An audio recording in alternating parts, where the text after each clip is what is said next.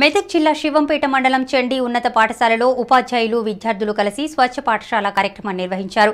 దీనిలో భాగంగా పాఠశాల పరిసరాల్లో ఉన్న పిచ్చి మొక్కలు తొలగించారు. అనంతరం ప్లాస్టిక్ నిషేధంపై విద్యార్థులతో ప్రతిజ్ఞ చేయించారు.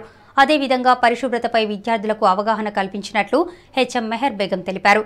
కార్యక్రమంలో ఉపాధ్యాయులు వామన శర్మ ప్రకాష్ రావు సంతోష్ పాల్గొన్నారు. కార్యక్రమంలో భాగంగా మా ఉపాధ్యాయుని ఉపాధ్యాయ బృందం మరియు విద్యార్థుల సహకారం పాఠశాల పరిసరాల్లో ఉన్నటువంటి పిచ్చి మొక్కల్ని అన్నింటినీ కూడా తొలగించడం జరిగింది. ఈరోజు పదిహేడు సెప్టెంబర్ టూ థౌజండ్ నైన్టీన్న స్వచ్ఛ పాఠశాల స్వచ్ఛ పాఠశాలలో భాగంగా పాఠశాల గ్రౌండ్ పరిసరాలలో మొత్తం విద్యార్థులు ఉపాధ్యాయులు అందరం కలిసి పరిశుభ్రత కార్యక్రమాన్ని నిర్వహించినాము.